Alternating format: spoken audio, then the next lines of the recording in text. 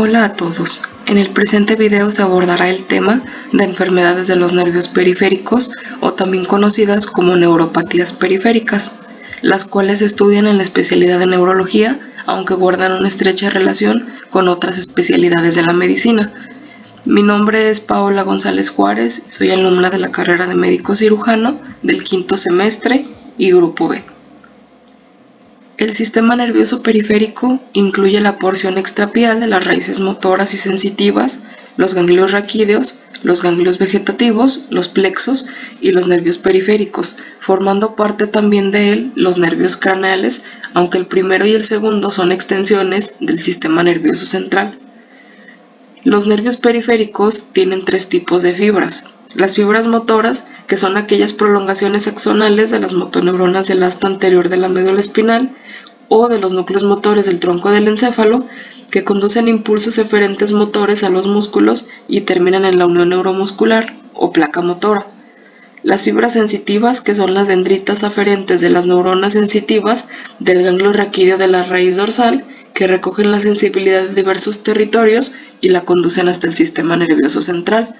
y las fibras vegetativas o autonómicas, que incluyen aquellas del sistema nervioso simpático y parasimpático que salen de la médula espinal con las raíces motoras formando parte de los plexos simpáticos para acabar inervando los vasos, la piel y las vísceras. Así pues, las neuropatías ocasionan diversos tipos de síntomas y signos según se vean afectados los diferentes tipos de fibras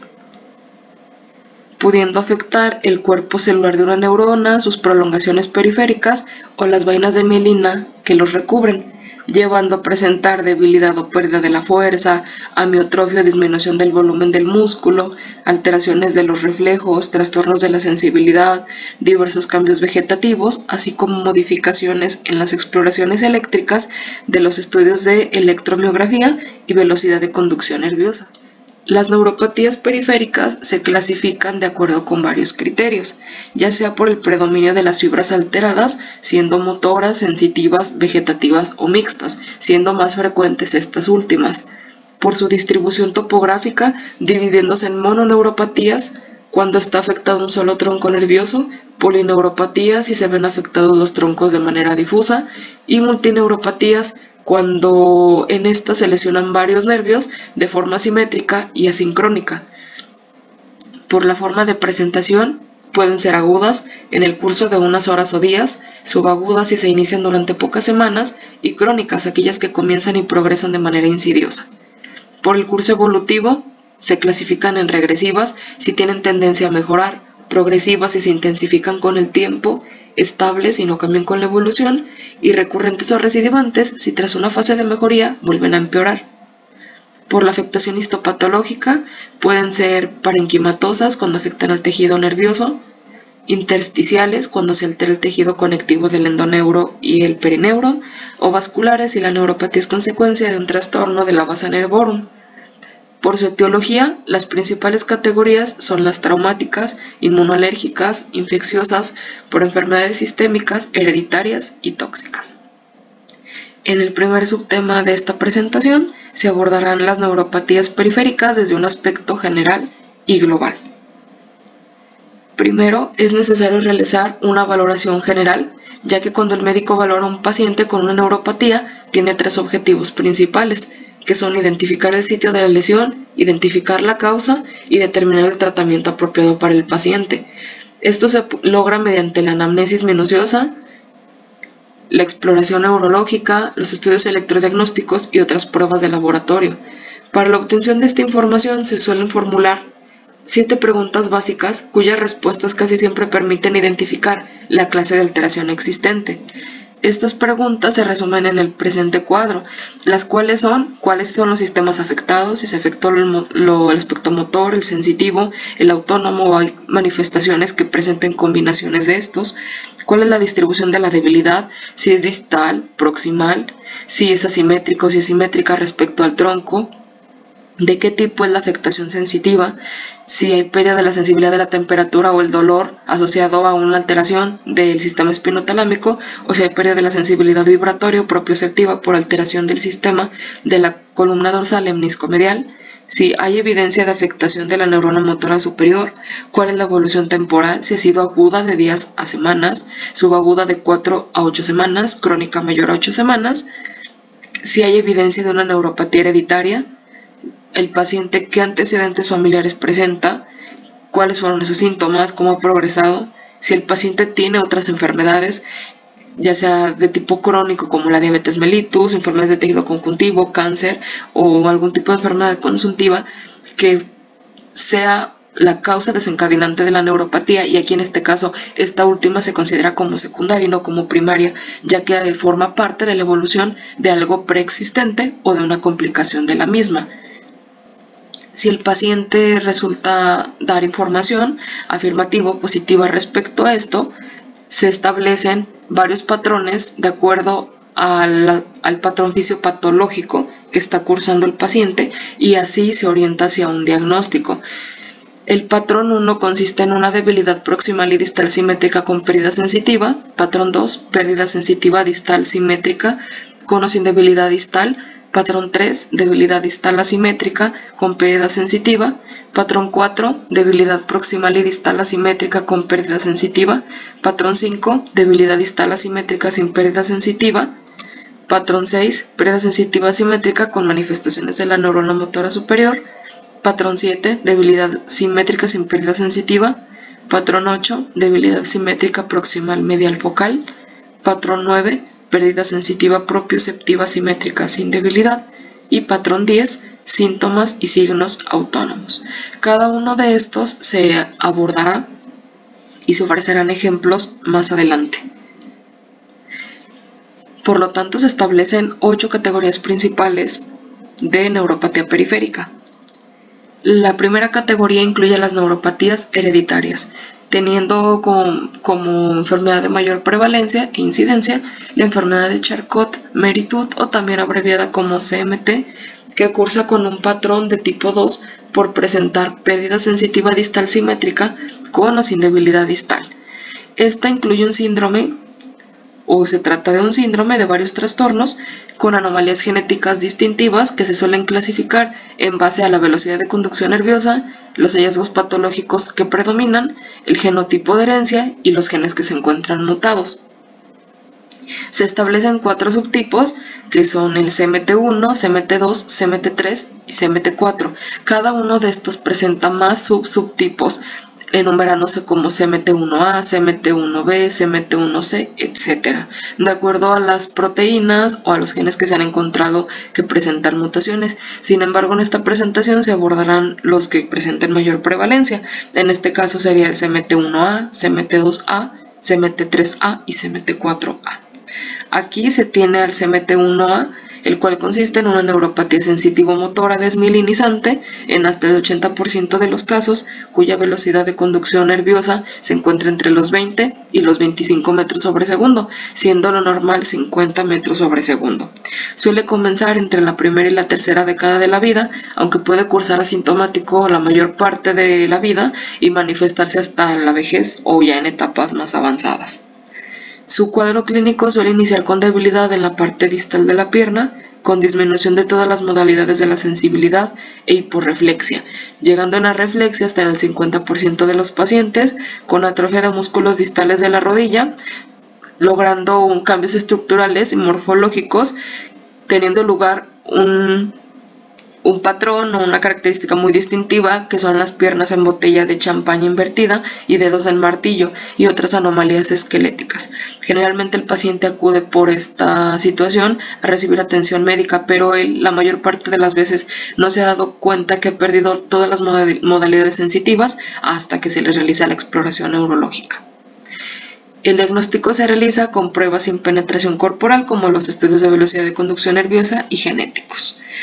Si se llegan a realizar biopsias, se tienen imágenes, una imagen distintiva que consiste en, la imagen clásica del bulbo de cebolla, tal como se muestra en la imagen de la derecha. También las proteínas en líquido cefalorraquídeo son son indicativos de este y el tratamiento que se les ofrece sintomático con baclofeno, naltrexona y sorbitol o cirugía en casos severos.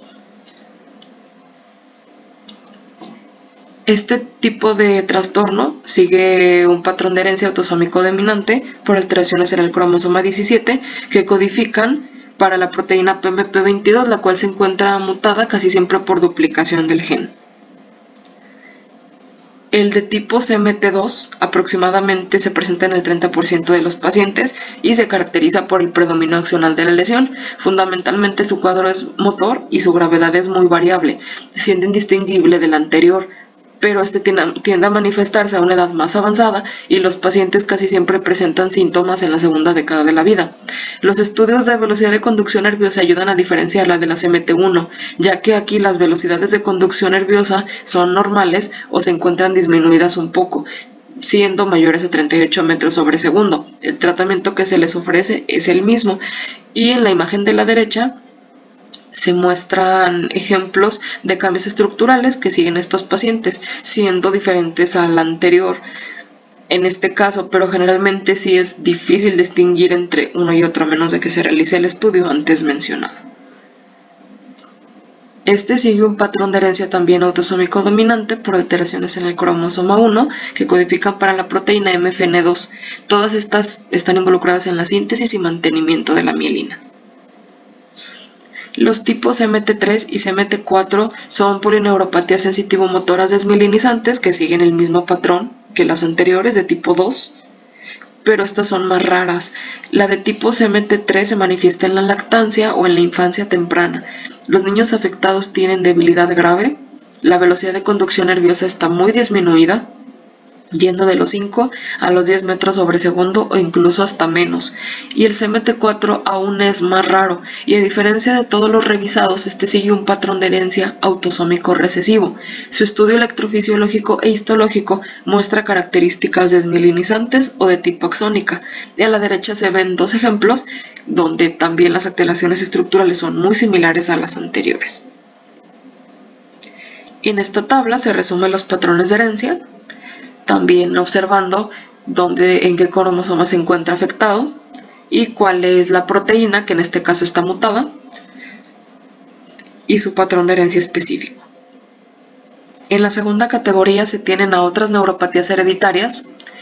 encontrándose eh, dentro del grupo de los trastornos hereditarios del metabolismo de lípidos la enfermedad de Fabry que cursa con el angioqueratoma corporal difuso, el cual también sigue un patrón de tipo 2 por presentar pérdida sensitiva distal simétrica con o sin debilidad distal. Este es un trastorno dominante ligado al cromosoma X, que aunque la mujer es portadora de él, también manifiesta el cuadro, aunque en menor gravedad que el varón. Este se origina por mutaciones en el gen de la galactosidasa alfa, la cual va a provocar una acumulación del trióxido de ceramida en los nervios y en los vasos sanguíneos, llevando a formar gránulos de glucolípidos en las células ganglionares de los sistemas nerviosos parasimpático y simpático, así como en las células perineurales. El cuadro clínico consiste en esos angioqueratomas característicos que son lesiones maculopopulares púrpuras rojizas alrededor de la cicatriz umbilical, que se suelen encontrar en el escroto, región inguinal y perineo. Con frecuencia, el varón refiere un dolor ardoroso lancinante en manos y pies hacia el final de la infancia o el principio de la edad adulta. En algunos pacientes, la principal manifestación es la miocardiopatía dilatada, ya que esta neuropatía casi siempre se oculta en las complicaciones derivadas de la aterosclerosis prematura que presentan, que a menudo causa la muerte hacia el, hacia el quinto decenio o quinta década de la vida del paciente.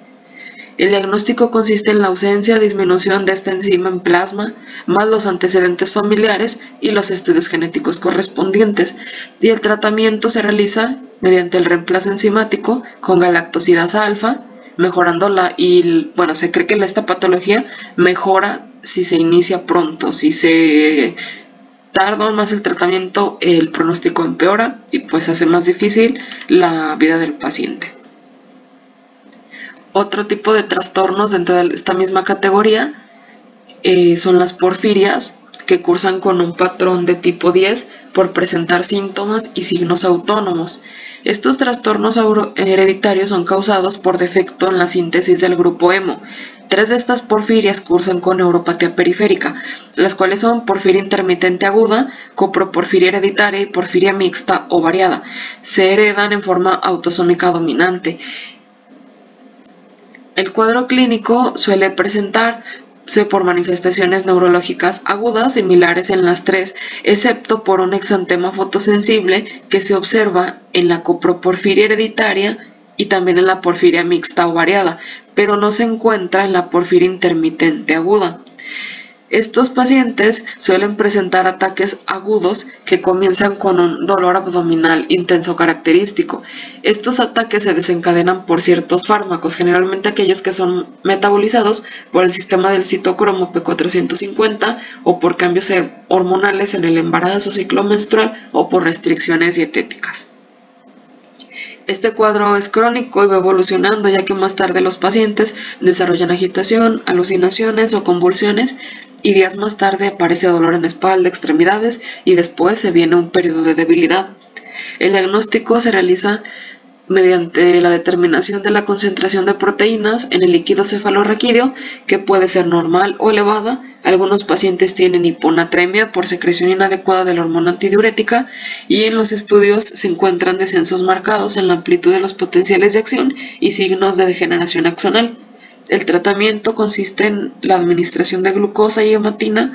que disminuyen la acumulación de los precursores de los grupos hemo. En la categoría 3 se tienen a las neuropatías adquiridas, siendo la neuropatía diabética una de las más conocidas,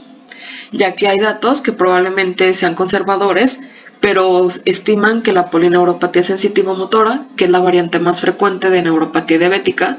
está presente entre el 6 y el 15% de los pacientes. Antes o durante la realización del diagnóstico de diabetes mellitus y más del 50% de los pacientes la va a desarrollar a los 30 años de, después de su diagnóstico. En varios países, generalmente aquellos de mayor desarrollo, pues se ha logrado un buen control de hiperglucemia, especialmente pues apegándose a las guías, pero aún así es un riesgo muy latente y la mayor parte de los pacientes pues lo presenta, más aún en nuestro país, ya que pues la diabetes mellitus es la causa más frecuente de neuropatía periférica y se suele relacionar con varias variantes. Aparecen todo tipo de diabetes y los factores de riesgo para desarrollarla incluyen una diabetes mellitus de larga evolución, generalmente mal controlada, presencia de daño microvascular manifestado ya por retinopatía, nefropatía y otros factores que se han mm, visto involucrados son la edad, el sexo masculino y el consumo de alcohol. Es importante recordar las cifras de hiperglucemia de acuerdo a la ADA recordando de 100 a 120 miligramos sobre decilitro y de 120 a 140 en ayuno, ya cifras necesarias para producir polineuropatía y los criterios específicos para establecer ya la diabetes, que son mayor a 140 y menor a 200 miligramos sobre decilitro a las 2 horas tras la sobrecarga de glucosa o mayor a 200 miligramos sobre decilitro a las 2 horas.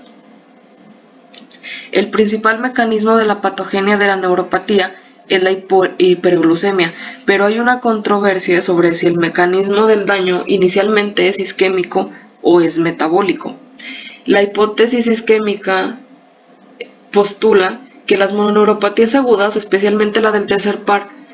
se dan por un origen isquémico por la presencia de diminutos infartos debido a esta microangiopatía diabética, ya que hay datos de que en algunos casos se añade un componente también de tipo de vasculitis autoinmune que se desencadena por antígenos de los vasos o los nervios previamente dañados. Entonces se sustenta en que estas lesiones de las paredes capilares en las biopsias de los nervios también cursan con un engrosamiento y degeneración de membranas basales. Pero ha habido estudios controlados en los que no se ha llegado a esta conclusión, ya que los vasos sanguíneos en ciertos pacientes que muestran neuropatía periférica no presentan estas alteraciones y es ahí donde se postuló un posible daño metabólico,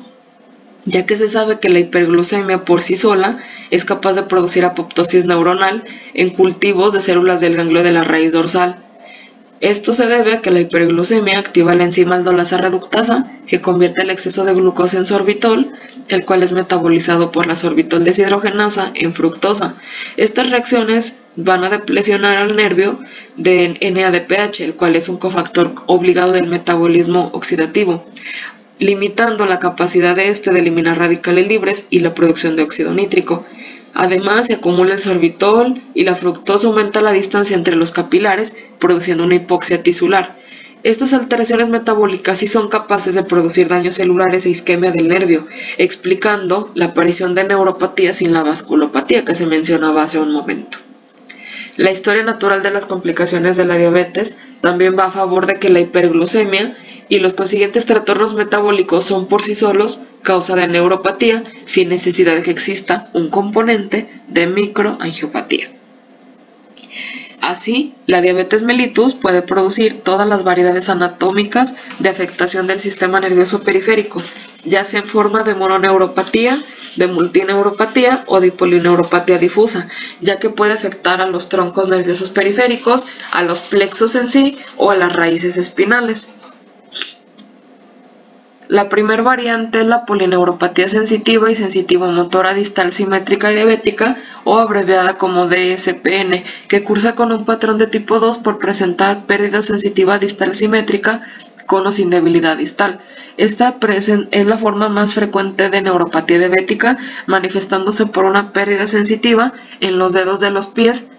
y que va ascendiendo hacia piernas, dedos de las manos hasta llegar a los brazos, que cuando es grave incluso se pierde la sensibilidad en el tronco, iniciando en la línea media anterior y extendiéndose hacia los lados. El paciente puede referir hormigueo, ardor, ardor, y dolor profundo. Los estudios de velocidad de conducción nerviosa muestran una reducción en la amplitud y disminución leve moderada de la, de la velocidad de conducción dando lugar a una degeneración axónica, hiperplasia endotelial y a veces hasta inflamación perivascular. Esta puede ser aguda, que ocurre en pacientes que ignoran que son diabéticos y al iniciar su tratamiento con insulina o antidiabéticos orales o por ciertas infecciones, operaciones u otro factor estresante, precipitan a esta polineuropatía, ya que también se cree que tiene que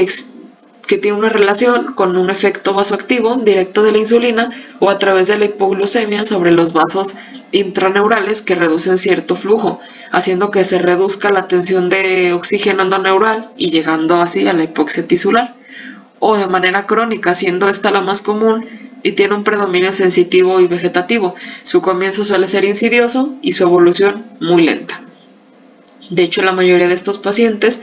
presentan síntomas muy discretos o incluso no existen molestias objetivas y la polineuropatía se descubre porque en la exploración ha habido una abolición de los reflejos aquíleos y una reducción de la sensibilidad vibratoria. La segunda variante es la neuropatía autónoma diabética, que cursa con un patrón de tipo 10 por presentar signos y síntomas autónomos. Esta casi siempre se presenta en conjunto con la anterior, manifestándose con signos y síntomas de disautonomía como disfunción en la termorregulación, sequedad de ojos, boca, anomalías pupilares, arritmias cardíacas, hipotensión postural, alteraciones gastrointestinales como gastroparesia, distensión postprandial, diarrea crónica o estreñimiento y disfunción genitourinaria,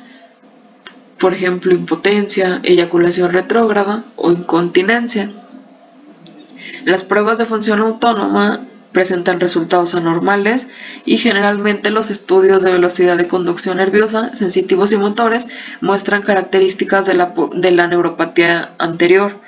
Se aumenta la mortalidad en este tipo de pacientes por causas cardiovasculares que se ha encontrado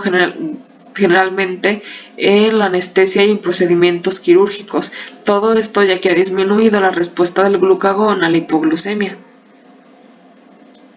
El tercer subtipo o variante es la neuropatía diabética de las raíces de los plexos o también conocida como amiotrofia diabética o síndrome de Bruns-Garland que cursa con un patrón de tipo 4 por presentar debilidad proximal y distal asimétrica con pérdida sensitiva. Esta neuropatía suele ser la manifestación inicial de la diabetes mellitus casi en un tercio de los pacientes, generalmente en los obesos y en adultos con diabetes mellitus de tipo 2 presentando una debilidad en los músculos pelvianos y femorales, con un dolor intenso en región umbilical,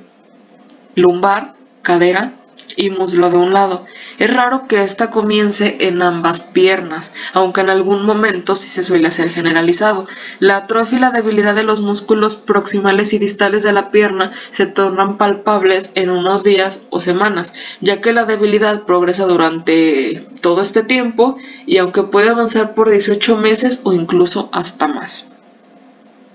A menudo esta se acompaña o va precedida por una pérdida de peso importante y los dolores que sufren los pacientes pueden ser insufribles y de predominio nocturno, haciendo que estos abusen de opioides para aliviarlos. Otros signos clínicos incluyen en la electromiografía, ya que muestran una polineuropatía difusa de base y también la presencia de proteínas en el líquido cefalorraquídeo, apoyándose un posible origen isquémico.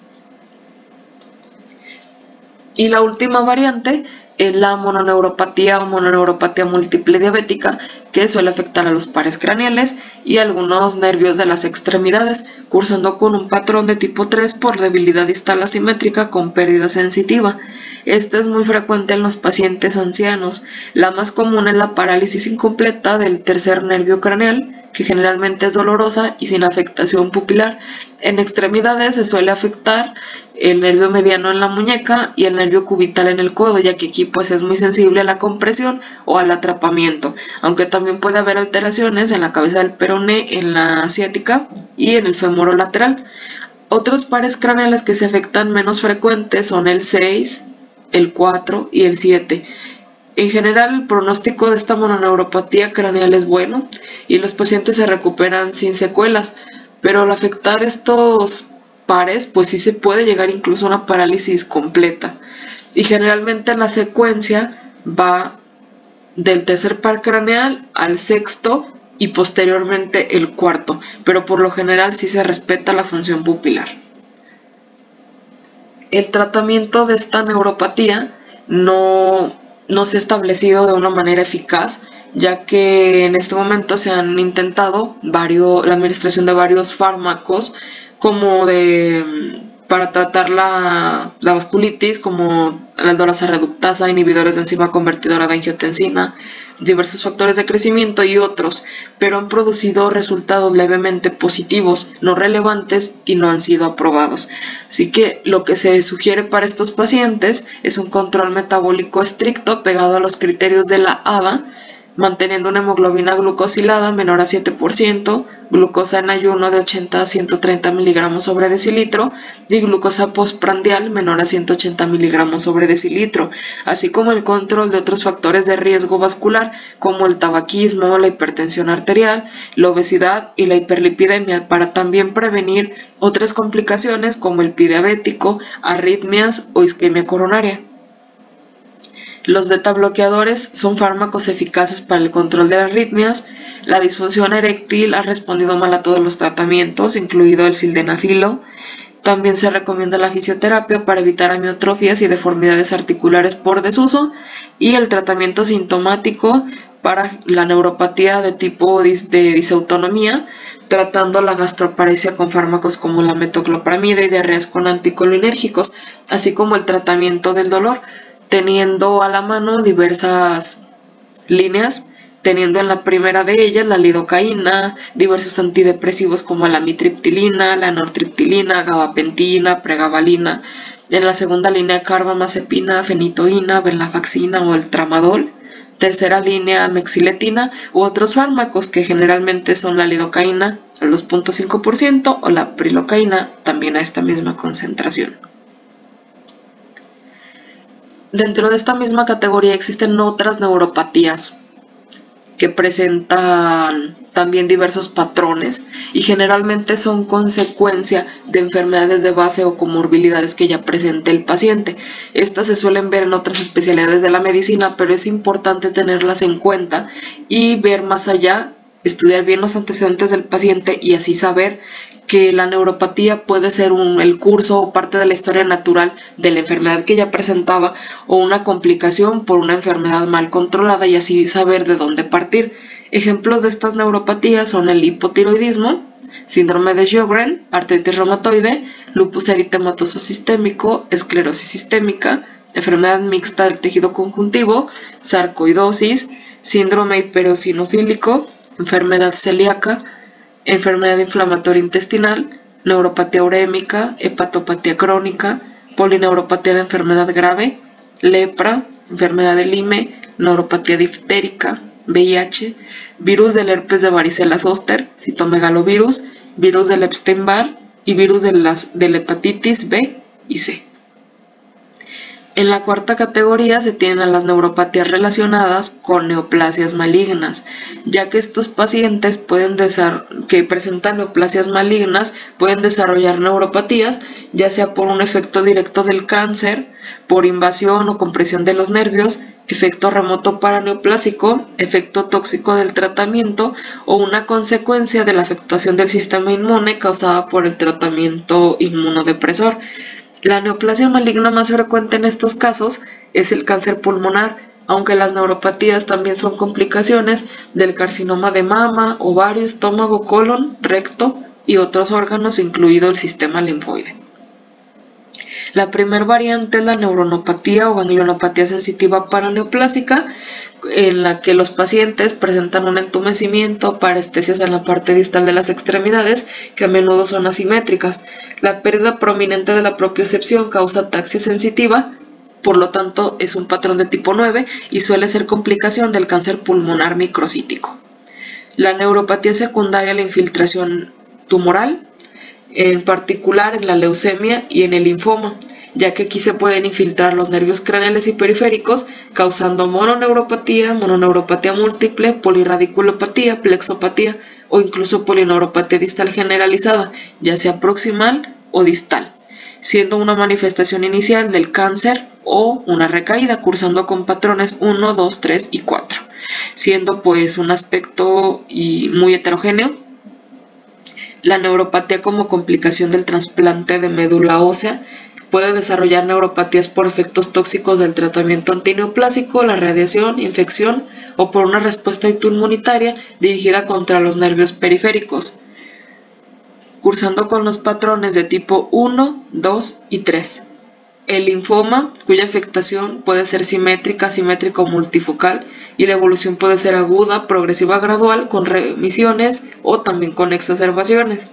cursando con los patrones de tipo 1, 2 y 3 mediante los mecanismos de infiltración, compresión o efecto paraneoplásico. Y el mieloma múltiple, que es el tipo más frecuente, que cursa con una polineuropatía distal axónica sensitivo-sensitivo-motora de tipo patrón 2, que con frecuencia se desarrolla una polirradiculoneuropatía desmielinizante crónica. El mieloma múltiple casi siempre se manifiesta entre el quinto y séptimo decenio de la vida con fatiga, dolor óseo, anemia e hipercalcemia. Las características clínicas y el electrodiagnóstico en estos pacientes se encuentran hasta en un 40% de ellos. En la categoría 5 se tienen a las neuropatías ocasionadas por la administración de ciertos fármacos y otras neuropatías tóxicas,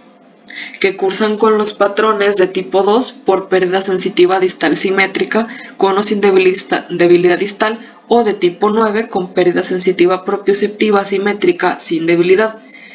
Muchas de las farmacoterapias comúnmente usadas pueden causar neuropatía tóxica, tal como se muestra en el cuadro. Los mecanismos por los cuales los fármacos causan neuropatías varían, al igual que el tipo específico de neuropatía que producen. El riesgo de desarrollar una neuropatía tóxica o una más grave parece más alto en pacientes con neuropatía preexistente, por ejemplo en los pacientes que presentan síndrome de Charcot, Marie-Tooth o neuropatía diabética, y aquellos que toman otros fármacos que también tienen capacidad neurotóxica. Por lo general, los tratamientos farmacológicos suelen causar neuropatía axónica dependiente de longitud o una neuronopatía o ganglionopatía sensitiva. En el cuadro se tienen ejemplos como los alcaloides de la pervinca, el crisplatino, taxanos, suramina, catarabina, etopósido, bortezomib, cada uno con sus mecanismos de neurotoxicidad, manifestaciones, una histopatología específica y los resultados que arroja el electrodiagnóstico que vienen siendo la electromiografía con aguja o la velocidad de conducción nerviosa. Otros ejemplos son el misonidazol, metronidazol, cloroquina, hidroxicloroquina, miodarona, colquicina, podfilina, talidomida o disulfram. Dapsona, leflunomida, nitrofurantoína, piridoxina, isoniazida, tambutol, antinucleósidos y difenilidantonato. Y sustancias de tipo tóxico que se vinculan más al ámbito laboral y a la ocupación del paciente, como el litio, la acrilamida, el disulfuro de carbono, el óxido de etileno, los organofosforados, hexacarbonos, plomo, mercurio, talio, arsénico y otros que se encuentran dentro de una clasificación aparte. En la categoría 6 se tienen a las neuropatías de causa nutricional, que son aquellas que cursan por ciertas deficiencias vitamínicas, siguiendo los patrones de tipo 2 por pérdida sensitiva distal simétrica con o sin debilidad distal o patrón de tipo 6 por pérdida sensitiva simétrica y arreflexia distal con hallazgos de neurona motora superior. La primera deficiencia es la de vitamina B12 o también conocida como cobalamina, la cual va a causar una anemia perniciosa y generalmente se debe a deficiencias dietéticas en pacientes vegetarianos, a gastrectomía, cirugías de derivación gástrica, enfermedad inflamatoria intestinal, insuficiencia pancreática, entre otras, presentándose como un entumecimiento en manos, parestesis en los miembros inferiores, afectando la propiocepción y vibración, ya que se trata de una neuropatía sensitivo-motora axónica. Puede presentarse también atrofia óptica y en casos graves cambios conductuales que van desde la irritabilidad leve, olvidos, hasta demencia grave y una psicosis franca. Además de la taxia sensitiva, hiperreflexia difusa y ausencia del reflejo aquíleo. Los laboratorios pues muestran la deficiencia de esta vitamina para establecer su diagnóstico y la resolución del cuadro se logra solamente en el 50% de los pacientes, ya que en el, otro 50% pues va a persistir en manera de secuelas o un cuadro parcial. Se realiza el tratamiento sustituyendo o realizando la reposición a través de mil microgramos de cenocobalamina intramuscular por semana y luego cada mes después del primero. La deficiencia de vitamina B1 o de tiamina es poco común en países desarrollados, presentándose más en los pacientes jóvenes. Esta es más frecuente encontrarla como consecuencia del abuso crónico del alcohol, vómito recurrente, nutrición parenteral total y cirugía bariátrica. El dolor es el síntoma predominante. Los hallazgos de electrodiagnósticos muestran hallazgos inespecíficos de una poloneuropatía sensitivo-motora. Los signos y síntomas suelen aparecer luego de una deficiencia prolongada. La pérdida sensitiva suele ser leve, más las disestesias ardorosas en pies, los calambres que llevan al tipo de polineuropatía ya mencionado. La disminución de esta vitamina se reporta al medirla en los laboratorios correspondientes y su reposición se da administrando tiamina intramuscular o intravenosa con 100 miligramos por día y su recuperación suele ser lenta. La siguiente es la deficiencia de tiamina o de vitamina E, el cual es un trastorno generalmente hereditario de la beta-litoproteinemia, que es un raro trastorno autosómico dominante caracterizado por una esteatorrea, retinopatía pigmentaria, cantosis y ataxia progresiva, o que causa una mala absorción de los lípidos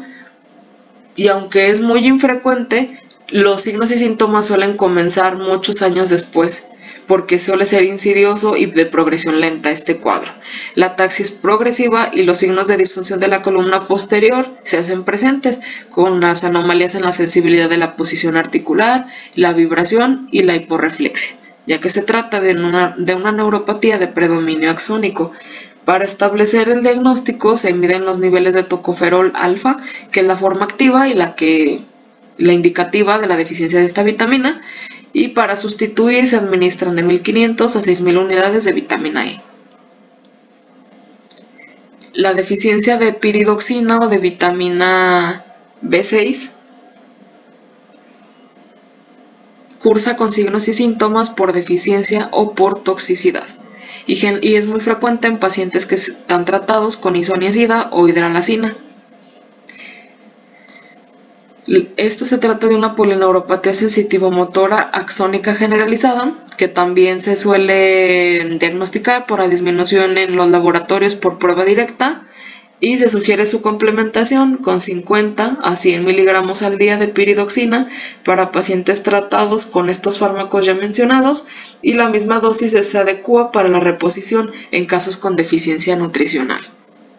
La deficiencia de niacina lleva a la pelagra, la cual es un trastorno que ya casi se ha erradicado en la mayor parte de los países occidentales, ya que se ha enriquecido el pan con niacina. Sin embargo, la pelagra todavía sigue siendo un problema en diversas regiones subdesarrolladas, sobre todo en países de Asia y en África, donde el maíz es su principal fuente de carbohidratos. Esta cursa con anomalías en cerebro, en médula espinal y en nervios periféricos, que generalmente suele ser leve y se parece a la enfermedad del beriberi, y esta se sustituye administrando de 40 a 250 miligramos por día de niacina. Y por último se tiene la deficiencia de cobre, que generalmente ocurre por un exceso de zinc en la dieta. Consiste en un síndrome de miloneuropatía más polineuropatía exónica sensitivo-motora, que muestra parestesias en miembros inferiores, debilidad, plasticidad y dificultad para, para la marcha, ya que se altera la función de las fibras sensitivas grandes, los reflejos suelen ser intensos y las respuestas plantares también son extensoras. Se sustituye mediante la administración de sulfato o, o glucoronato de cobre oral con 2 miligramos 1 o 3 veces al día y si este no es efectivo, se administra sulfato cloruro de cobre en dosis de 2 miligramos IV durante 3 a 5 días. Es importante mencionar que la polineuropatía puede desarrollarse después de una cirugía gástrica por úlcera, cáncer o para reducción de peso ya que esto sucede en el contexto de la pérdida rápida y significativa de peso, el vómito recurrente y prolongado. En la categoría 7 se tiene la polineuropatía sensitiva y sensitivo-motora criptógena o idiopática, que cursa con un patrón de tipo 2 con pérdida sensitiva distal simétrica con o sin debilidad distal, que se establece después de la anamnesis cuidadosa de los antecedentes médicos, familiares y sociales, así como de la exploración neurológica y las pruebas de laboratorio dirigidas. Pero a pesar de esta extensa valoración, la causa de la polineuropatía queda como idiopática en hasta el 50% de los pacientes. Suele comenzar en la sexta o séptima década de la vida y cursa con un entumecimiento distal, hormigueo y dolor ardoroso que comienza en los dedos de los pies y va ascendiendo hasta las manos. Desaparece el reflejo de estiramiento en el tobillo, aunque no hay indicios considerables de debilidad, hay una pérdida importante de las fibras grandes y pequeñas. Y en estos pacientes pues el tratamiento consiste en el control del dolor neuropático si es que éste existe y generalmente su pronóstico es muy bueno ya que no causa discapacidad motora porque su progresión es lenta y benigna. Y en la categoría 8 se tiene a las mononeuropatías, plexopatías y radiculopatías, que consiste en un grupo de alteraciones, generalmente topográfico, de acuerdo al lugar en el que éste se encuentren. Las primeras son las mononeuropatías que cursan con un patrón de tipo 3 por presentar debilidad distal asimétrica con pérdidas sensitivas. Estas se pueden clasificar en agudas traumáticas, agudas isquémicas o crónicas. Las agudas traumáticas suceden por la compresión, elongación o sección de los nervios, ya sea por algún objeto cortante como un cuchillo, un vidrio o por un mismo hueso durante algún traumatismo, llevando tres alteraciones principales de, los nervios, como la neuropraxia, que es el grado de menor disfunción del nervio, que se produce por una compresión externa del tronco del nervioso, aunque no, aunque no existe una degeneración axonal, y distalmente al punto de la lesión aparece debilidad muscular y alteraciones sensitivas. La axonotmesis en la que existe una pérdida de la continuidad anatómica de una parte o de todas las fibras nerviosas, pero se suele conservar anatómicamente el tronco nervioso, y la neurotmesis, que es la lesión traumática más grave de las tres, y esta se produce por la acción directa del objeto cortante que suele seccionar de manera completa al nervio. Las agudas isquémicas que cursan con vasculitis o están asociadas a la diabetes, afectándose los pares craneales tercero, cuarto, sexto o nervios periféricos que son el mediano, el cubital o el peroneo. Y por último, se tienen a las mononeuropatías crónicas de las cuales se estará hablando. Estas suceden por compresión y atrapamiento de los nervios en las extremidades,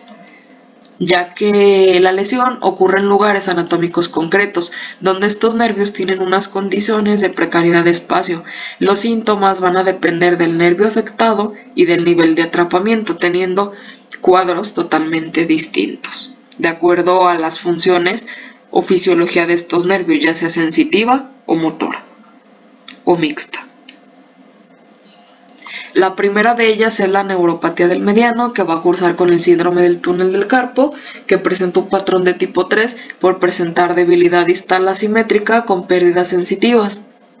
Esta es una neuropatía por atrapamiento y es la más común que ocurre en mujeres jóvenes y sin causa aparente. Frecuentemente se asocia en pacientes que presentan amiloidosis secundaria o del mieloma, gota, hipotiroidismo, diabetes, obesidad, diálisis renal, artritis reumatoide y otras conectivopatías, sarcoidosis o acromegalia, y puede ocurrir transitoriamente durante el embarazo, teniendo su resolución cuando esté terminado.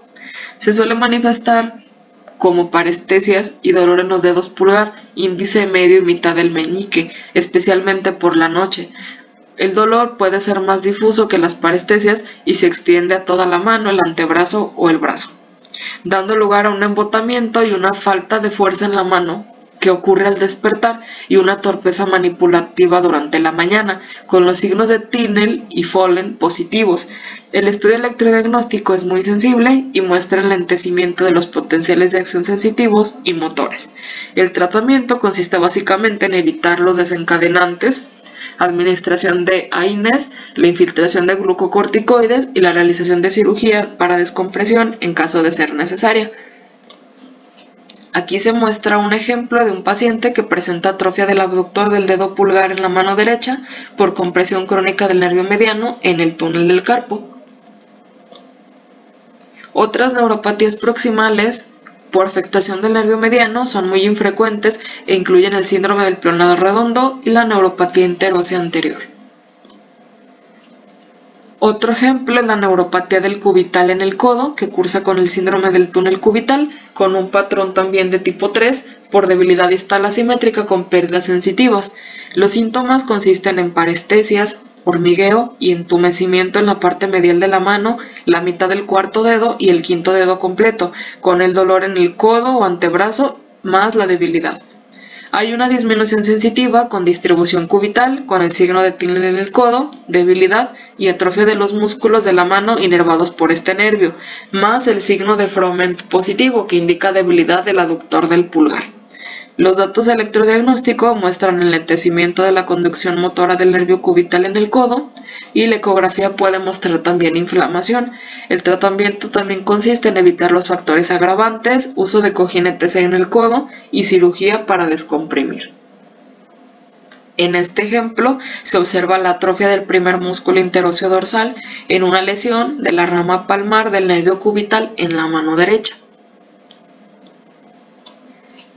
Esta es más frecuente en el canal epitroclear que en la muñeca o el mejor conocido como canal de Gullón, aunque en ambos casos el atrapamiento se puede facilitar por traumatismos, luxaciones, ya sean previas o seguidas de artrosis, pero también puede ser de origen idiopático.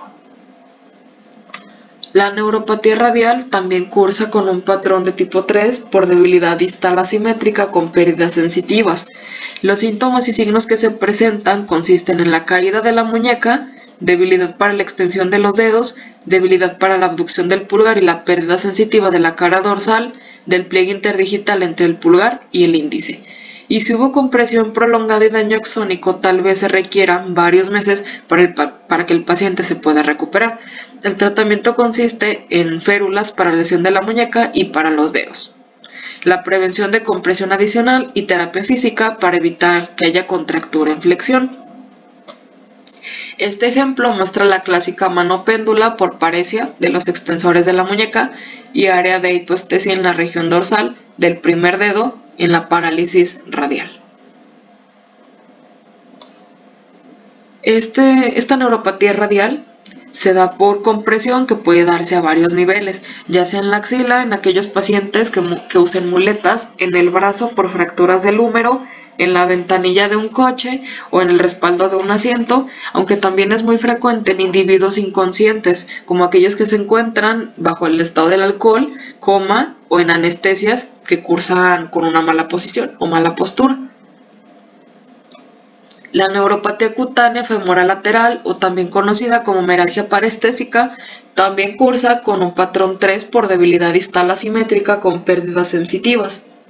En estas las manifestaciones consisten en parestesias, entumecimiento y dolor ocasional en la cara lateral del muslo. Los síntomas se intensifican cuando el paciente está de pie o camina y se alivian cuando éste está sentado. La fuerza es normal y los reflejos de la rodilla permanecen intactos.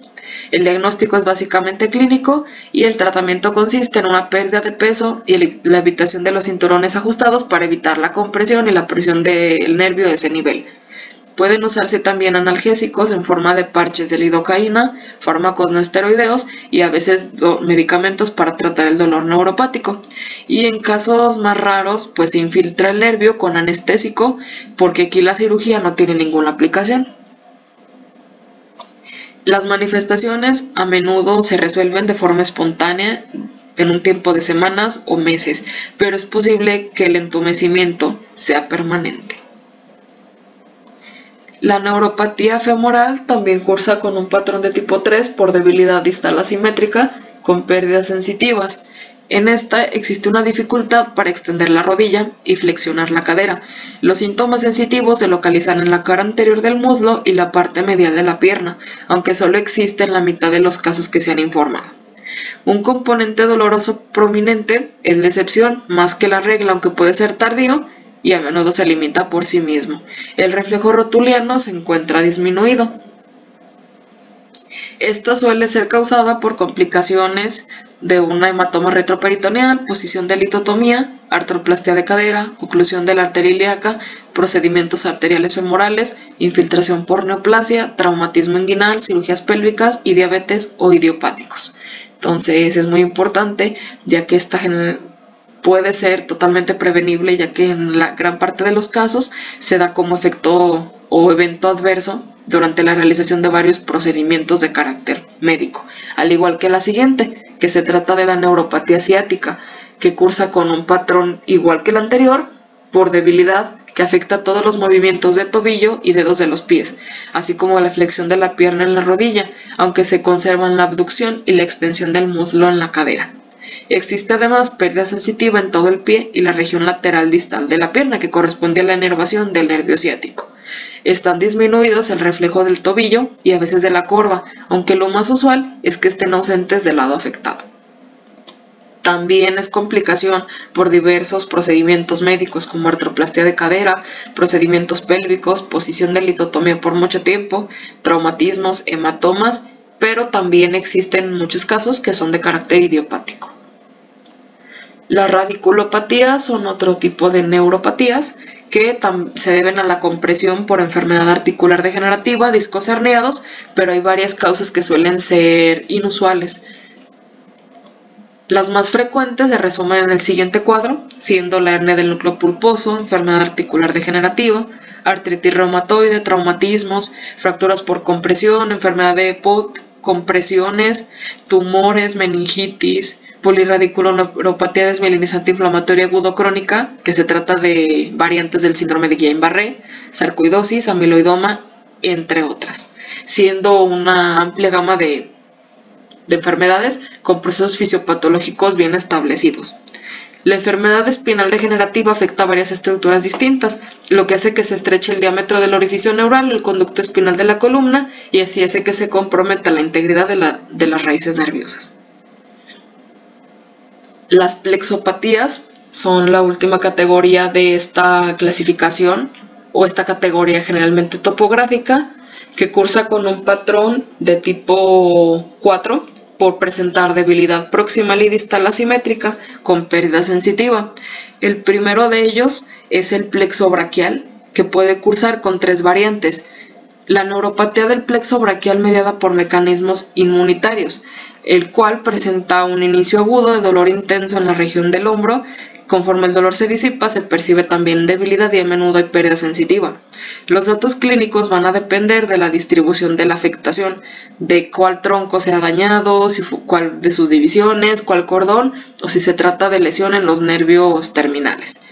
Pero el tipo más frecuente afecta la porción superior del tronco o implica mononeuropatías que afectan sobre todo a los nervios supraescapular, torácico largo o al nervio axilar. Plexopatías braquiales relacionadas con neoplasias, ya que las neoplasias pueden afectar al plexo braquial por tumores nerviosos primarios, un cáncer local que se extiende al plexo o por un tumor metastásico. Son más frecuentes los tumores secundarios que afectan al plexo braquial y siempre son de característica maligna. Surgen de neoplasias locales que se extienden hacia el plexo, siendo el más común el tumor de Poncast, el cual cursa con un dolor en el brazo, un trastorno sensitivo en la cara medial del antebrazo y la mano, así como debilidad y atrofia de los músculos intrínsecos de esta, más un síndrome de Horner ipsilateral. Y plexopatías perioperatorias por la realización de esternotomía mediana, en cuyos procedimiento quirúrgico se complica y por ejemplo en casos de cirugías de corazón abierto y toracotomías, ya que los pacientes van a manifestar un trastorno sensitivo que afecta la parte medial del antebrazo y la mano, además de debilidad de los músculos intrínsecos de esta misma. El mecanismo se relaciona con el estiramiento de la porción inferior del tronco, por lo que la mayoría de los individuos se recuperan en unos cuantos meses. En, en, la siguiente tabla se resume una correlación clínico-anatómica de las lesiones del plexo braquial ya que las manifestaciones clínicas van a depender de la localización de la lesión y de la etiología de la misma, pudiendo afectar a los troncos primarios, ya sea en su porción superior, en la inferior, o las tres divisiones que también presenta el tronco secundario, siendo muy importante la costilla cervical, la cual es la etiología principal de la afectación de este último. La afectación del plexo lumbosacro también suele obedecer a plexopatía lumbosacras, las cuales pueden ser bilaterales y casi siempre se desarrollan en forma gradual y en momentos distintos. Es más probable que las plexopatías sacras sí sean bilaterables. El diagnóstico diferencial de la plexopatía va a incluir trastornos del cono medular y de la caudequina, o también conocidas como poliradiculopatías. Si el dolor y el daño sensitivo son ligeros, también pueden considerarse la enfermedad de la neurona motora. Es muy difícil identificar o saber si el paciente presenta daño en el plexo lumbar o daño en el plexo sacro, de qué nervios se está tratando, por lo que sí se debe de identificar de manera adecuada estas características que pueden hacer la distinción y así ofrecerle un mejor tratamiento. La enfermedad neoplásica recurrente o plexopatía inducida por radiación hace que también por efecto de esta radiación cause anomalías microvasculares y fibrosis en los tejidos circundantes, dañando a los axones y a las células de Schwann, esta plexopatía puede aparecer meses o años después del tratamiento y va a depender de la dosis. Un aspecto importante es que la invasión tumoral casi siempre es dolorosa y afecta más a menudo a la porción inferior del tronco, mientras que la lesión por radiación a menudo es indolora y afecta a la parte superior de este. En el siguiente cuadro se presentan las causas de plexopatía lumbosacras, siendo generalmente por compresión como hematoma retroperitoneal, absceso en el psoas, neoplasia maligna, neoplasias benignas, radiación, amiloides, radiculoplexopatías diabéticas, idiopáticas, sarcoidosis, entre otras. En esta diapositiva se presentan diversos ejemplos de las neuropatías antes mencionadas a través de distintos estudios o técnicas de imagen. A la izquierda se muestra un ejemplo de plexopatía braquial por neoplasia de mama. En la imagen A se observa la atrofia de los músculos escapulares y en la B una resonancia magnética que muestra hiperseñal de las ramas del plexo braquial inferior se encuentra un caso de un paciente con plexitis braquial aguda, donde se observa la atrofia del músculo deltoides con la elevación del hombro para compensar el defecto de la abducción del brazo. Y en la parte superior y central se tiene a una costilla cervical bilateral que va a causar una amiotrofia de la eminencia tenar solo de la mano derecha, tal como se muestra en la siguiente imagen. Y en la parte inferior un caso de mal de pot que va a ocasionar una disitis y va a llevar a la formación de abscesos fluentes bilaterales del psoas que van a provocar una compresión de los plexos lumbares. Y por último, en la parte derecha se tienen ejemplos en la imagen A de quiste hidatídico en el músculo psoas que va a comprimir al plexo lumbar. En la imagen B, un hematoma del músculo psoas que es en un paciente que está tratado con heparina y va a mostrar signos de compresión del plexo lumbar. Y en el C, un sarcoma en pala que también va a provocar una invasión al plexo sacro. Aunque el diagnóstico es moldeable y específico para cada, cada, tipo de neuropatía, se establecen estas tres técnicas principales que forman parte de un llamado diagnóstico general para cada uno de estos pacientes. La primera es la valoración electrodiagnóstica, que consiste en los estudios de conducción nerviosa y la electromiografía con aguja. La valoración electrodiagnóstica de los pacientes con sospecha de neuropatía periférica generalmente se realiza en aquellos para aportar información adicional sobre una distribución de una neuropatía que apoyan o refutan hallazgos encontrados en el interrogatorio o en la valoración general de la que ya se habló, así como de la exploración física, ya que se puede confirmar si el trastorno neuropático es una mononeuropatía, mononeuropatía múltiple, radiculopatía, plexopatía o una polineuropatía de tipo generalizado.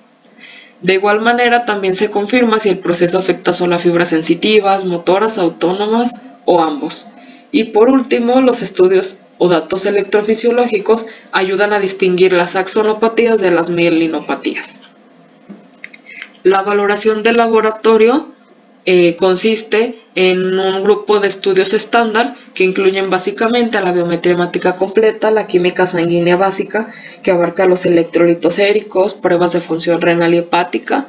glucosa sanguínea en ayuno, hemoglobina glucosilada, análisis de orina, pruebas de función tiroidea, vitamina B12, folato, velocidad de eritrosedimentación, factor reumatoide, anticuerpos antinucleares y la detección de proteínas específicas en orina. Las biopsias de nervios y las biopsias cutáneas hoy en día rara vez están indicadas para valoración de neuropatías, pero su principal indicación es cuando se tiene la sospecha de neuropatía amiloide o vasculitis. En la mayor parte de los casos, los hallazgos anómalos de la biopsia no ayudan a distinguir entre una forma y otra. La biopsia de, este, de esta, del nervio solo se debe de solicitar si los estudios de velocidad de conducción nerviosa han sido anormales y el sitio más frecuente para la biopsia es el nervio sural, ya que este es un nervio sensitivo puro y la biopsia no produce pérdida motora. En ocasiones la biopsia de piel también se utiliza para diagnosticar una neuropatía de fibras pequeñas.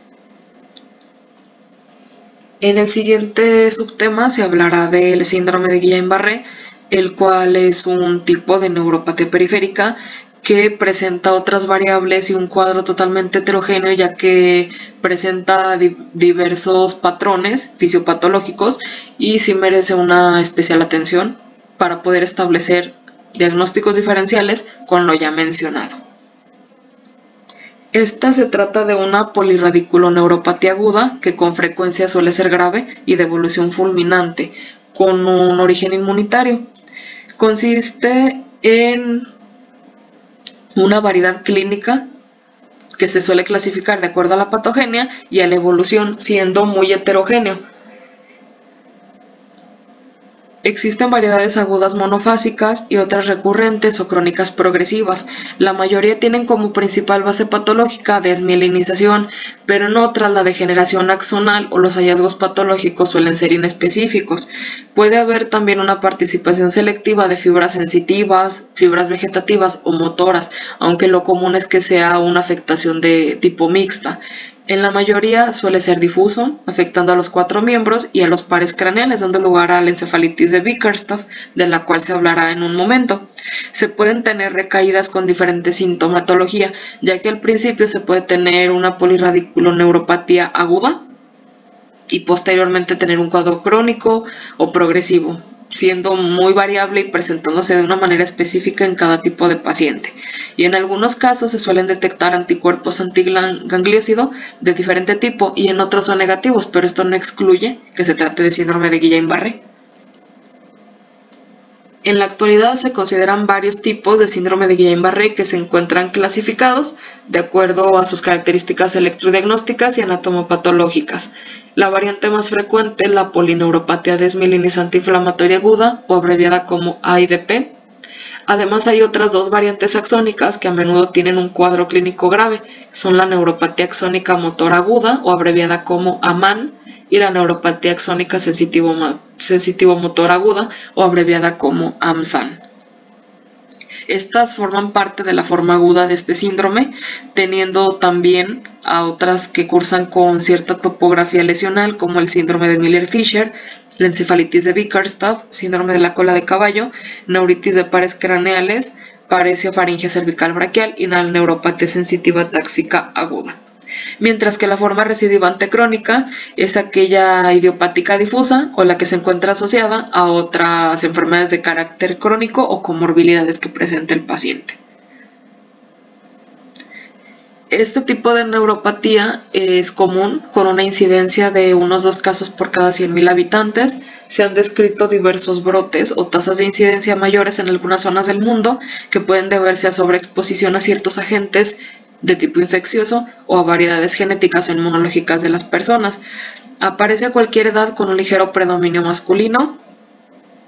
Su tasa de incidencia aumenta de 0.8 en personas menores de 18 años y asciende hasta un 3.2 en mayores de 60, estableciéndose por lo tanto dos picos de, de, mayor incidencia, uno entre los jóvenes y otro entre los de las personas de 50 a 80 años. La etiología, en el 70% de los pacientes se reconoce de una a tres semanas antes un desencadenante de tipo infeccioso, ya sea respiratorio o gastrointestinal, estando involucrado en un 20 o hasta 30% de los pacientes Campylobacter jejuni, el cual es un bacilo gram negativo que cursa cuadros gastrointestinales y disentería, también ciertas vacunaciones o cirugías.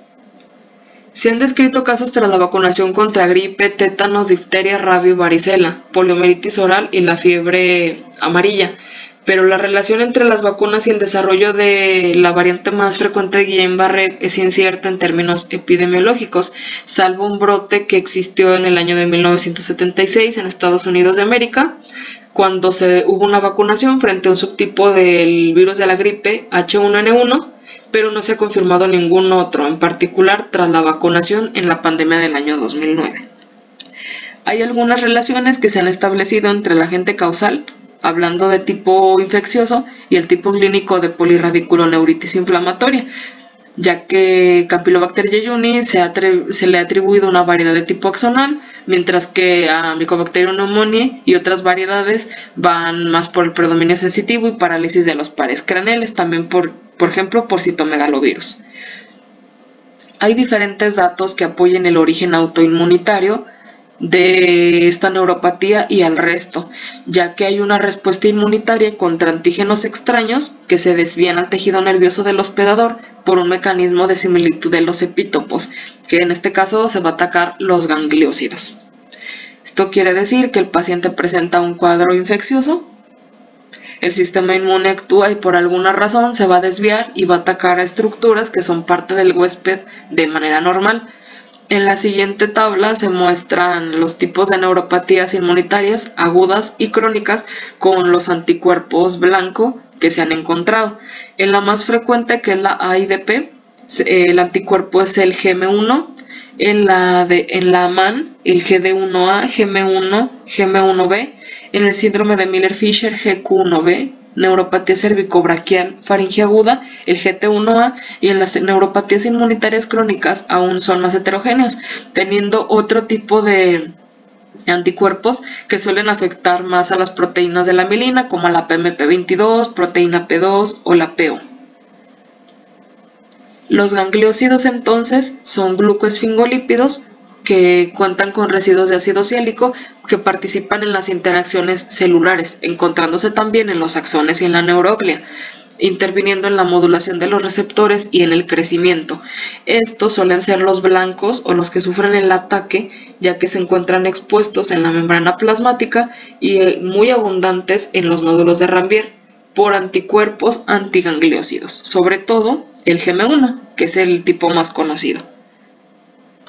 La fisiopatología de eh, las formas desmielinizantes de las variantes de síndrome de Guillain-Barré puede seguir los mecanismos de parálisis flácida y de alteración sensitiva, con, que es el bloqueo de la conducción. En la imagen de la derecha, en la parte superior se muestra una neurona cuyo proceso fisiopatológico es el de la inmunopatogenia de la variante más común, que es la AIDP, donde los autoanticuerpos se van a unir con los antígenos de la mielina activándose el sistema del complemento, formando el complejo de ataque a la membrana en la superficie externa de las células de Schwann, dando lugar a la degeneración vesicular para posteriormente ser infiltrado o invadido por macrófagos eh, que van a actuar como eliminadores de los detritos. Y en la parte inferior se tiene una neurona cuyo mecanismo muestra la inmunopatogenia de la MAN y LAMSAN, las variantes más graves, cuyos autoanticuerpos van contra los gangliosidos GM1 o GD1, uniéndose con el axolema, también formando el complejo de ataque a la membrana, haciendo que desaparezcan los cúmulos de los canales de sodio dependientes de voltaje y haciendo que se desprenda la mielina paranodal, lo que puede producir falla en la conducción nerviosa y debilidad con la degeneración axónica en una etapa posterior y también la infiltración de los, de los macrófagos que invaden desde los nodos hacia el espacio periaxónico para eliminar los axones que se encuentran lesionados. Esto hace que existan los diversos subtipos con ciertas características, su electrodiagnóstico específico y como tal la patología la AIDP es la afectación más frecuente en los adultos que en los niños, siendo uno, eh, o representando el 90% de los casos en los países occidentales. Generalmente tiene una recuperación rápida y el anticuerpo que se encuentra más común es el anti-GM1. El electrodiagnóstico es desmielinizante y cursa con un ataque inicial en la superficie de las células de Schwann, con una lesión difusa de la mielina, la activación de los macrófagos y una infiltración linfocítica. La neuropatía axónica motora o AMAN se da en niños y adultos jóvenes. Esta presenta una alta prevalencia en China y en México, pudiendo ser estacional, con una recuperación rápida y con anticuerpos anti-GD1A de tipo daño axónico, con un ataque inicial en los nódulos motores de Rambier, activación de los macrófagos, escasos linfocitos y abundantes macrófagos que van a infiltrar el área posterior a la lesión, ya como se vio en la imagen y la neuropatía axónica sensitivo-motor aguda o AMSAN, esta es más rara, también ocurre principalmente en adultos, con una recuperación más lenta y a menudo es incompleta, relacionada al subtipo anterior, con daño axónico, cuya patología cursa también similar a la anterior, pero también con afectación de los nervios sensitivos. Aquí la lesión axónica por lo común suele ser muy grave y también el síndrome de Miller-Fisher, que también se presenta en adultos y niños, cursando con oftalmoplegia, ataxia y arreflexia, con anticuerpos anti-GQ1B, con electrodiagnóstico axónico desmielinizante, pero sin embargo se han estudiado pocos casos y suele mostrar características similares a las de la IDP. Las manifestaciones clínicas entonces van a depender de cada subtipo o variante de síndrome de Guillain-Barré, teniendo en la AIDP una triada clásica que consiste en parestesias ligeras en pies y manos, debilidad ascendente y arreflexia. Suele ser simétrica y va a comenzar de manera distal, ascendiendo hasta los músculos proximales de manera progresiva. En casos fulminantes suele haber tetraparesia con parálisis respiratoria, también diplegia facial, disfagia, disfonía, reflexia, dolor moderado, lumbar, sensación de quemazón, taquicardia en reposo, arritmias y signos y síntomas de disautonomía como hipotensión ortostática, hipertensión arterial hábil, síndrome de secreción inadecuada de la hormona antidiurética, sudoración anormal, alteraciones en la termorregulación, paresia intestinal, dilatación gástrica, hipertensión intracraneal, copapiledema, entre otras. Las polineuropatías agudas inflamatorias de carácter axonal, que son la MAN y la AMSAN, presentan cuadros puramente motor o sensitivo, tal como se vio en el cuadro anterior. Y pues aquí la importancia radica en que el subtipo AMAN es el más común en México y es el que se encuentra relacionado a Campylobacter jejuni. El síndrome de Miller-Fisher y encefalitis de Bickerstaff se suelen superponer con una triada de oftalmoparesia, ataxia y arreflexia. al que más tarde se le han ido agregando los signos de romboencefalitis que consisten en las alteraciones en la conciencia. La polineuropatía aguda sensitiva atáxica o ASAN cursa con intensas alteraciones sensitivas en las piernas y sobre todo en los brazos, refiriendo el paciente a las manos dormidas y no se reconocen los objetos al tacto o la clásica agnosia, con una mínima pérdida de la fuerza, la mayoría con alteraciones vegetativas y la minoría con una disfunción vulvar. Y la ganglionopatía vegetativa aguda reversible con signos y síntomas de disautonomía aguda, teniendo la disfunción intestinal, vesical, pupilar, sudomotora y vasomotora. Los datos de laboratorio apoyan al diagnóstico mediante la detección de proteínas en el líquido cefalorraquídeo sin pleocitosis al final de la primera semana de presentar el cuadro. Ah, en ocasiones ha habido un aumento transitorio del recuento de leucocitos, aunque este valor no es significativo de síndrome de Guillain-Barré. También hay datos en el estudio electrodiagnóstico leve o nulo en etapas iniciales que se encuentran retrasados con respecto a la evolución clínica. Esto quiere decir que el paciente muestra ya alteraciones de mayor gravedad cuando en el electrodiagnóstico apenas se empiezan a notar ciertos cambios. En 2011, la Brighton Collaboration elaboró una nueva serie de definiciones para síndrome de Guillain-Barré en respuesta a necesidades de los estudios epidemiológicos en la vacunación y una valoración de riesgos de este mismo síndrome, llevando a diversos niveles para establecer una cierta certeza diagnóstica. Aquí se muestra los criterios para el diagnóstico de síndrome de Guillain-Barré y el síndrome de Miller-Fisher, que viene siendo una variante de este último, observando las características que ya se mencionaron anteriormente. Aquí simplemente se muestran a modo de resumen. El diagnóstico diferencial incluye mielopatías agudas, difteria, polirradiculitis del Lyme y otras parálisis causadas por garrapatas, porfiria, neuropatía vasculítica, poliomielitis, virus del Nilo Occidental, polirradiculitis por citomegalovirus, neuropatía o miopatías del enfermo crítico. También trastornos de la, de la unión neuromuscular como la miastenia grave y el botulismo, intoxicación con órganos fosforados, tal o arsénico, intoxicación por mariscos o hipofosfatemia grave, que suele ser un diagnóstico raro. El tratamiento de estos pacientes debe iniciarse lo antes posible, ya que después del diagnóstico, alrededor de dos semanas, eh, no se sabe si la inmunoterapia sigue siendo efectiva. El tratamiento se inicia con la administración de inmunoglobulina intravenosa a dosis altas o plasmaféresis si el paciente continúa con la debilidad motora grave y no ha mostrado mejoría con inmunoglobulina o no se ha descartado que continúe el ataque inmunitario a través de la administración de 5 infusiones diarias hasta una dosis total de 2 gramos por kilo de peso corporal, hablando de la inmunoglobulina o plasmaféresis de aproximadamente 40-50 mililitros por kilo de peso de 4 o 5 veces en una semana. Las formas leves de síndrome de Guillain-Barré pueden tratarse en forma conservadora sin la administración de estos productos, cuando estos pacientes muestran una fase de agravamiento requieren atención de una unidad de cuidados intensivos, ya que aquí se les valora y se les trata su capacidad vital, el ritmo cardíaco, la presión sanguínea, nutrición, profilaxis para trombosis venosa profunda, estado cardiovascular y también se realiza pues la consideración de que si el paciente va a requerir más de dos semanas de intubación, pues se le valora para realizar la traqueotomía, también fisioterapia torácica, Cerca del 30% de los pacientes necesita una asistencia ventilatoria, a veces por largos periodos del tiempo que basta meses. Y pues son importantes también los cambios de posición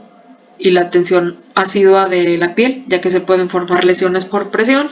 al igual que ejercicios diarios de la amplitud de movimiento para evitar contracturas de tipo articular.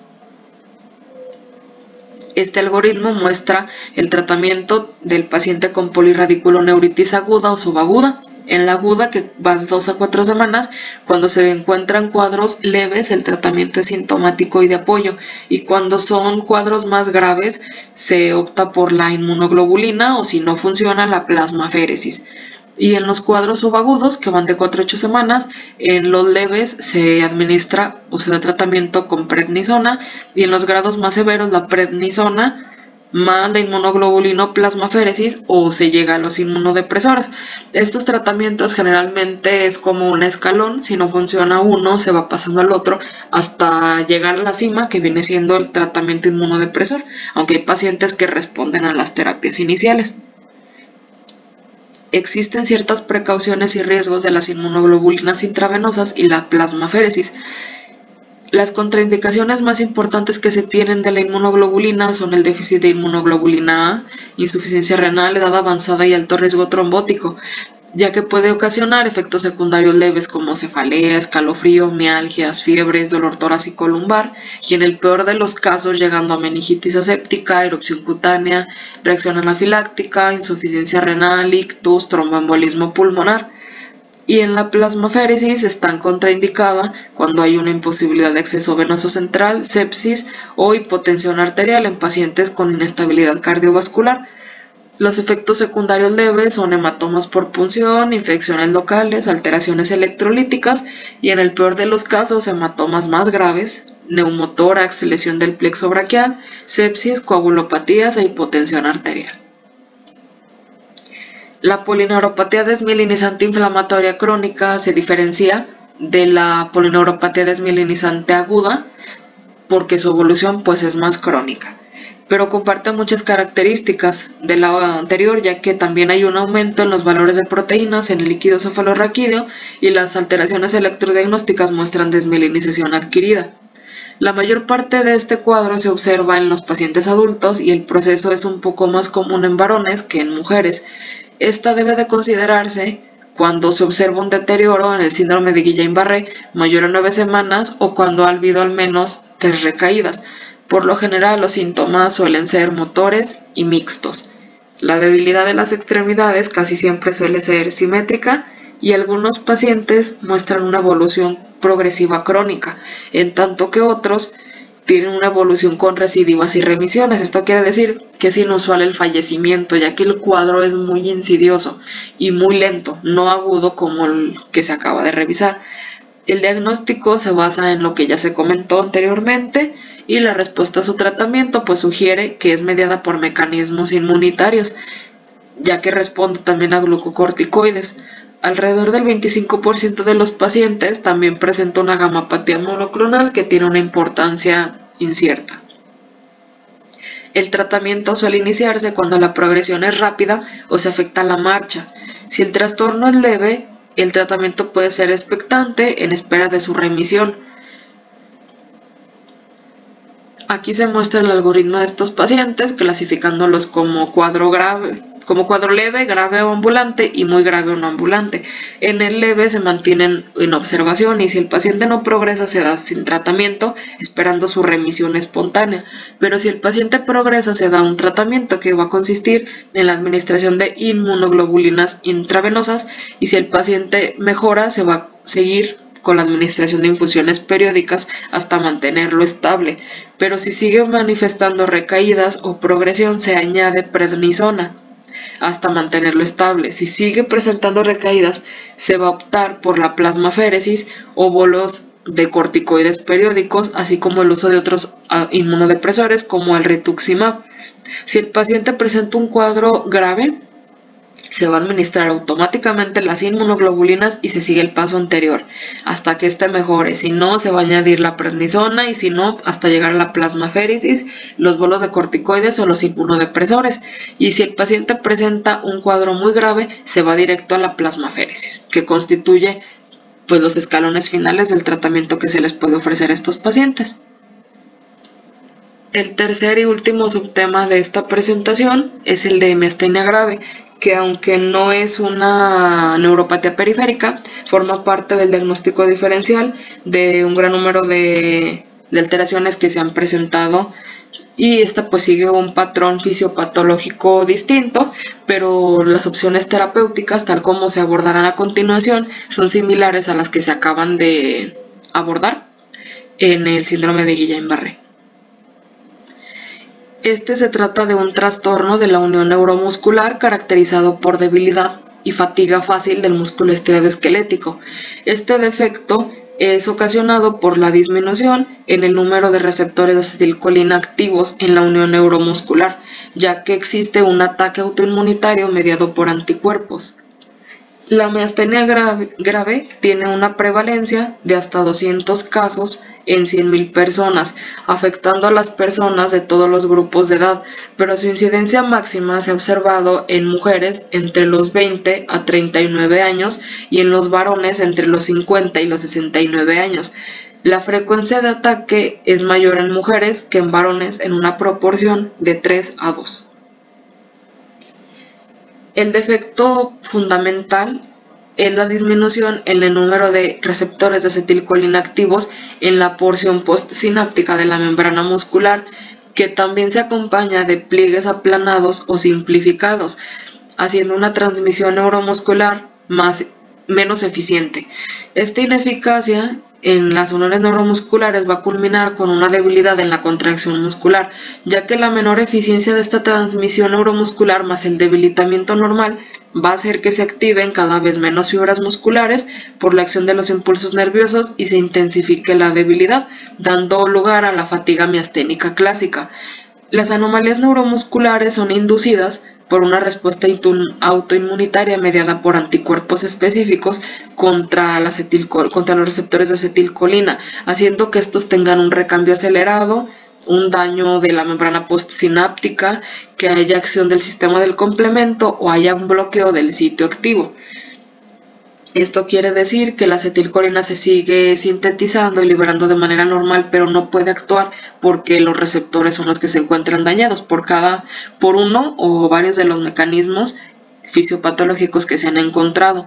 No se conoce en detalle la forma en que suele comenzar esta respuesta autoinmune, pero al parecer en tal fenómeno interviene el timo, ya que dicha glándula es anormal en alrededor del 75% de los pacientes con miastenia grave, y presentan anticuerpos contra acetilcolina o contra este tipo de receptores y en cerca del 65% dicho órgano presenta hiperplasia con la presencia de centros germinales activos detectados por medio de técnicas histológicas y el 10% adicional de los pacientes tiene tumores tímicos o timomas. Las células mioides dentro del timo tienen en su superficie receptores de acetilcolina, pudiendo ser la fuente de autoantígenos y los que inducen la reacción autoinmunitaria dentro de la glándula ya mencionada. En esta imagen se muestra en la izquierda el proceso fisiológico normal de la contracción muscular, donde se encuentra la neurona que es el elemento presináptico, la hendidura sináptica y la membrana muscular o la parte postsináptica, con la síntesis, la secreción y la liberación de la acetilcolina uniéndose a sus receptores para desempeñar o desencadenar la contracción muscular, mientras que en la derecha se observa esa liberación de acetilcolina pero no se, puede, no, se puede unir de manera satisfactoria a sus receptores, ya que se presentan los autoanticuerpos contra estos mismos y la, la activación del sistema del complemento, haciendo que no sea satisfactorio y llevando a la debilidad antes mencionada. Las manifestaciones clínicas pueden, pueden variar, siendo las, las cardinales la debilidad, que se intensifica con el uso repetido y puede mejorar cuando el paciente ha estado en periodos de reposo o el sueño. Y la fatiga fácil de los músculos. La evolución es variable, observándose a veces exacerbaciones y remisiones en los primeros años. Las infecciones o los trastornos sistémicos pueden ocasionar una mayor debilidad miasténica y desencadenar crisis en este tipo de pacientes. La distribución característica de, de la debilidad Puede ser en los músculos craneales, en particular en los párpados y en los músculos extraoculares, presentando diplopía y palpebral con cierta expresión de refunfuño, tal como se muestra en la imagen de la derecha, teniendo además debilidad para mascar, característica disártrica apagada y disfagia aunque alrededor del 85% de los pacientes presentan una debilidad generalizada, afectando también a los músculos de las extremidades, que suele ser proximal y a veces asimétrica. Sin embargo, no desaparecen los reflejos tendinosos profundos y si aparece debilidad ventilatoria, es claro que el paciente está presentando una crisis. El diagnóstico se sospecha con base en la debilidad y la fatiga, sin arreflexia ni disminución de la sensibilidad o de otras funciones neurológicas. Sin embargo, debe confirmarse siempre antes de emprender el tratamiento definitivo. En la imagen se muestra una prueba rápida para establecer su diagnóstico en un paciente que muestra miastenia grave con cuadro extraocular con daño en los músculos del globo ocular izquierdo. Se aplica una bolsa de hielo y si hay mejoría, el paciente da positivo a miastenia grave, pero si no y continúa la aptosis palpebral, se trata de otro trastorno. En este cuadro se resume el diagnóstico de la miastenia grave, siendo el pilar fundamental la anamnesis, indagando en la diplopia del paciente, la aptosis, la disartría, la disfagia, la disnea, cómo es la debilidad, de dónde se ha distribuido, su característica, con qué mejora, con qué empeora, la fluctuación y la fatiga, efecto de tratamiento que ya haya utilizado el paciente, más la exploración física, que es la evaluación para descartar otras causas de ptosis, valoración de la fuerza de los músculos del cuello y extremidades, medición de la capacidad vital, ausencia de otros signos neurológicos, más los datos de estudios de laboratorio, de radioinmunoanálisis de los anticuerpos, estimulación nerviosa repetitiva, electromiografía o la administración del cloruro de hidrofonio. Por lo tanto, se resume en la prueba de la bolsa del hielo, que es la mejoría en la aptosis, los anticuerpos, que son antirreceptores de acetilcolina, aunque se pueden encontrar otros que son el MUSK y el LRP4, que aunque suelen estar ausentes en un gran número de pacientes, no descartan el diagnóstico de miastenia grave, estudios electrodiagnósticos y los métodos de anticolinestérasicos, que consisten en la administración del hidrofonio, y si el paciente mejora, pues es un resultado positivo que confirma la miastenia grave. El tratamiento es una secuencia y una evaluación muy específica del paciente, ya que el primer punto consiste en conocer sus enfermedades relacionadas. Si el paciente presenta trastornos del timo como timoma, hiperplasia, otros trastornos neurológicos autoinmunitarios como polineuropatía desmielinizante inflamatoria crónica, que es la variante de síndrome de Guillain-Barré, como ya se abordó, otros trastornos autoinmunitarios de la tiroides, como la tiroiditis de Hashimoto, enfermedad de Graves, otras como artritis reumatoide, lupus, dermatosis, trastornos o circunstancias que exacerban la miastenia grave, como el hipertiroidismo, hipotiroidismo, infecciones o factores estresantes, trastornos que pueden interferir en el tratamiento, como tuberculosis, diabetes, úlcera péptica, así como los métodos de estudios de laboratorio recomendados, que son la tomografía computada, la resonancia magnética, estudios que buscan los anticuerpos, pruebas de función tiroidea, pruebas de tuberculosis, medición de la glucemia, disfunción, pruebas de función pulmonar y la de citometría ósea. Cuando esto se ha abordado, lo siguiente es apegarse al siguiente algoritmo que eh, consiste en la identificación de los trastornos intercurrentes del paciente, que es lo anterior más lo que esté presentando en el momento que, que este está buscando su atención. Si su cuadro es ocular, solamente se va a indicar una resonancia magnética de cerebro y si esta es positiva se vuelve a valorar. Se da la anticolinesterasa, que es la piridostigmina, y si el tratamiento es insatisfactorio, se le va a dar tratamiento inmunodepresor. Si presenta un cuadro de carácter generalizado, se le va a dar el anticolinesterasa, que es la piridostigmina, y eh, después se va a valorar para la práctica de timectomía, ya que hay indicaciones específicas, no todos los pacientes son candidatos a esta cirugía. Y si el riesgo sigue siendo, si el riesgo es satisfactorio, si vale la pena realizar la cirugía, esta se realiza. Pero si es inadecuado, se va a someter al paciente al plasmaféresis o a un concentrado intravenoso de inmunoglobulina probablemente el paciente mejore con este, pero si no hubo mejoría, se va a dar tratamiento inmunodepresor.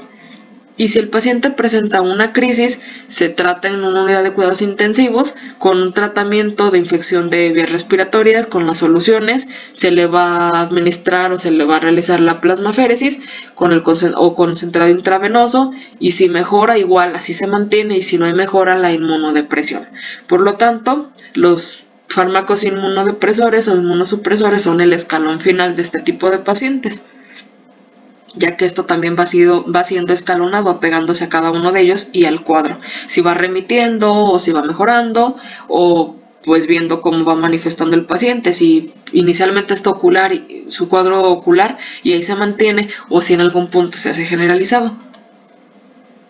estableciendo ciertas metas. A corto plazo, una mejora inmediata se consigue con el concentrado de inmunoglobulinas intravenosas o la plasmaféresis, a mediano plazo con el uso o administración de glucocorticoides e inmunodepresores como la ciclosporina o tacrolimus, o a largo plazo con la aciotropina y el micofenolato memofetilo. Estas metas pues se van estableciendo con mejorías de días a meses, llegando incluso a largo plazo hasta un año. Cada vez hay más datos de que el rituximab es un fármaco efectivo en muchos pacientes con miastenia grave y sobre todo en aquellos que tienen anticuerpos contra MUSK. En este cuadro se encuentran fármacos que interactúan con la miastenia grave, que pueden hacer que ésta se exacerbe. Son fármacos de uso muy común y uso muy frecuente que es necesario tener en cuenta, como los antibióticos de tipo aminoglucósido, quinolonas, macrólidos, miorelajantes no despolarizantes para cirugía, como el curare y el becuronio, betabloqueadores, propranolol, atenolol, metoprolol, anestésicos locales y fármacos similares como la procaína, gilocaína, la toxina botulínica, los derivados de la quinina, el magnesio, la penicilamina, inhibidores del punto de verificación y otros fármacos como ciclosporina, tacrolimus, y la satioprina, que también presentan interacciones importantes en pacientes con miastenia grave. La bibliografía utilizada eh, son los libros del Harrison de Principios de Medicina Interna y el de Neurología del Dr. Sarrans. Cada uno de estos cuenta con la información más actual más actualizada de cada una de estas neuropatías. Sin embargo, solamente se habló de manera general dando un enfoque global de cada una de ellas, ya que suelen ser muy heterogéneas, suelen ser primarias, como ya se vio, siendo, siendo o teniendo un origen nervioso, o secundarias cuando se acompañan de otras comorbilidades de los pacientes por lo que se deben de indagar y de buscar más en cada una de ellas, ya que existe información abundante de cada tipo de neuropatía periférica, pero pues ya es importante tener una idea al menos más clara y estar orientado sobre de qué se está hablando y qué tan frecuentes son y qué tan fácil es desarrollar este tipo de cuadro en los pacientes.